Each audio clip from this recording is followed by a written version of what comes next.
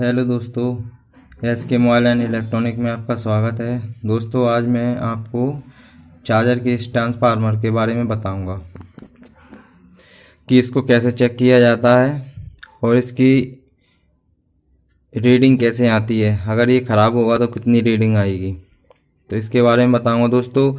और सारे चार्जर में जो दो एम्पियर, तीन एम्पियर, वन एम्पियर सब में दोस्तों इसी तरह का ट्रांसफार्मर लगा रहता है, जिसमें दोस्तों इन दोनों की कंटिन्यूटी आएगी और इन दोनों की कंटिन्यूटी आएगी और इन दोनों की कंटिन्यूटी आएगी। ये हमारे आउटपुट के होते हैं दो और ये चार होते हैं, वो इनपुट वाले होते हैं। जिनमें से दोस्तों एक ऑक्जनरी बाइंडिंग होती है। तो ये तो हमारे आउटपुट हैं इनकी कंटिन्यूटी आएगी और ये हमारे इनपुट हैं, ये दोनों की कंटिन्यूटी आएगी और इन दोनों की कंटिन्यूटी आएगी। तो दोस्तों, जब ये ट्रांसफार्मर ख़राब हो जाते हैं तो इनकी रीडिंग कुछ अलग आती है और जो सही होते हैं तो अलग रीडिंग आती है। और सारे चार्जर में दोस्तों, इसी तरह के ट्रांसफार्मर लगे होते हैं। बस अंतर उनमें ये होता है कि एक एम्पियर या दो एम्पियर या तीन एम्पियर इस तरह के ट्रांसफार्मर होते हैं दोस्तों। तो दोस्तों, ये इसकी आउटपुट की बाइंडिंग है। जिसे हम एक शॉर्ट की डायोड लगाकर इसके आउटपुट ले हैं। ये दोस्तों मोटी बाइंडिंग होती है। अब दोस्तों, ये इसकी प्राइमरी बाइंडिंग है, जिसमें दो बाइंडिंग होती है। ये वाली हमारी ऑक्जनरी बाइंडिंग होती है, जिससे हमारा ट्रांजिस्टर ऑन होता है, नीचे वाली बाइंडिंग से। इस तरह से दोस्तों ट्रांसफार्मर लगा होता है पीसीबी में तो ये पहली वाली हमारी प्राइमरी होती है, जिस पर 300 वोल्टेज आता है। इनपुट हम देते हैं 300 वोल्टेज डीसी इस वाली पे। तो दोस्तों, इसकी रीडिंग ज़्यादा होती है, और इसमें पतला वायर होता है, काफ़ी राउंड होते हैं उस वायर में, इस वाले में। अब इसमें ही, इस बाइंडिंग में दोस्तों एक ट्रांजिस्टर लगा होता है। इसको ऑन ऑफ़ करने के लिए दोस्तों जो नीचे की ऑक्जनरी बाइंडिंग होती है, उससे ट्रांजिस्टर ऑन ऑफ़ हो जाता है। तो इसीलिए इसमें दो बाइंडिंग होती है और दोस्तों इसमें मेन बाइंडिंग होती है इसकी 300 वोल्टेज वाली डीसी इनपुट देते हैं हम वो वाली। जिसमें दोस्तों ऑक्जनरी बाइंडिंग में और आउटपुट वाली में, इन दोनों में दोस्तों जब ये कंडक्ट करता है तो इनमें करंट बनता है। एसी करंट जब, दोस्तों, कभी भी जब इनमें करंट बनेगा तो एसी करंट बनेगा, जिसे हम रेक्टिफायर डायोड लगा के या शॉर्ट की डायोड लगा के हम आउटपुट में इसको एसी से डीसी बना लेते हैं। तो दोस्तों, इसमें दो बाइंडिंग होती हैं, एक तो हमारी प्राइमरी बाइंडिंग होती है और एक सेकेंडरी जो सेकेंडरी होती है, उसमें हम आउटपुट ले लेते हैं और प्राइमरी होती है, उसमें हम 300 वोल्टेज इन करते हैं। तो दोस्तों, ये रहता है। अब मैं दोस्तों आपको इसे मल्टीमीटर से चेक करके दिखाऊँगा कि किस बाइंडिंग की कितनी रीडिंग आती है। तो इससे आप दोस्तों आसानी से पता लगा सकते हो कि हमारा ट्रांसफार्मर ओके है या ख़राब है। तो इसके लिए हमें मल्टीमीटर को डायोड मोड पर सिलेक्ट करना है और हम इसकी बारी बारी से रीडिंग चेक करेंगे। तो सबसे पहले हम इसकी आउटपुट पर चेक करेंगे, जिसमें दो टर्मिनल हैं। उसमें दोस्तों ज़ीरो से वन ओम इतनी रीडिंग आएगी।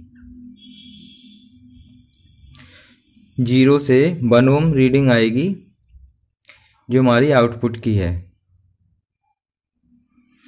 क्योंकि दोस्तों मेन लोड इसके प्राइमरी बाइंडिंग पे ही रहता है। और दोस्तों, ये आउटपुट वाली वायर थोड़ी मोटी होती है। तो अब हम इसकी प्राइमरी वाली बाइंडिंग को चेक करते हैं। दोस्तों प्राइमरी बाइंडिंग में भी कंटिन्यूटी आएगी और उसमें कम से कम सात, आठ या छः ओम इतनी रीडिंग आएगी। तो दोस्तों, हमारी इनपुट वाली प्राइमरी बाइंडिंग ओके है।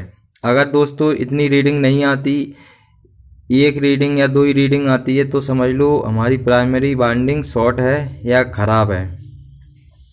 तो इससे हमें पता चल जाएगा हमारा ट्रांसफार्मर ख़राब है। अगर सात, आठ इतनी रीडिंग आती है तो हमारा ट्रांसफार्मर एकदम ओके है। और दोस्तों, अब इसकी एक ऑक्जनरी बाइंडिंग होती है जो ट्रांजिस्टर को ऑन करती है, उसमें भी दोस्तों रीडिंग आनी चाहिए। ये तो हमारी प्राइमरी हो गई थी। अब इसकी ऑक्जनरी बाइंडिंग में दोस्तों देखो, दो रीडिंग आ रही है। इस तरह से, इस इस तरह से लगाते हैं सब ट्रांसफार्मर को।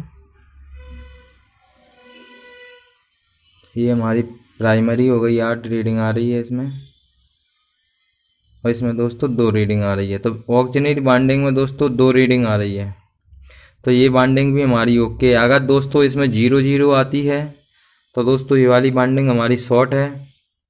तो ट्रांसफार्मर हमारा ख़राब है। अगर दो या तीन रीडिंग आती है तो हमारा ट्रांसफार्मर ओके है। इस तरह से। कहने का मतलब दोस्तों ये है कि जो प्राइमरी बाइंडिंग होती है, उसमें रीडिंग आएगी साठ छ इतने की लगभग, क्योंकि उसमें वायर की राउंड ज़्यादा रहती है। और ऑक्जनरी बाइंडिंग और आउटपुट बाइंडिंग में भी एक या दो रीडिंग आएगी, एक या दो ओम वाली रीडिंग आएगी तो ओके है हमारा ट्रांसफार्मर अगर ये रीडिंग नहीं आती तो दोस्तों ये हमारा ट्रांसफार्मर ख़राब है। अब दोस्तों ये ऐसा नहीं है कि ये सिर्फ़ एक ही चार्जर में काम करेगी इस तरह की रीडिंग। दोस्तों, जितने भी चार्जर हैं एडेप्टर हैं, सब में एक ही तरह से ट्रांसफार्मर आता है दोस्तों। इसी तरह से उसकी बाइंडिंग होती है।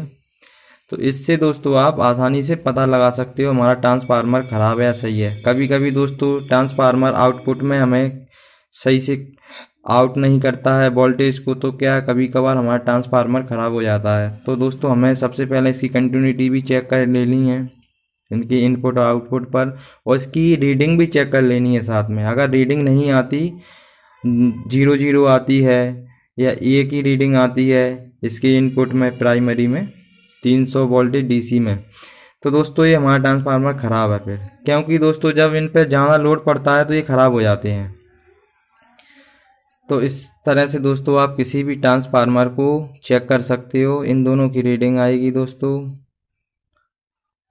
एक तरफ़ दोस्तों चार वायर होते हैं, एक तरफ़ दोस्तों दो वायर होते हैं। तो इस तरह से दोस्तों सारे ट्रांसफार्मर होते हैं। तो आप इस तरह से कोई भी ट्रांसफार्मर को चेक कर सकते हो। तो थैंक यू दोस्तों।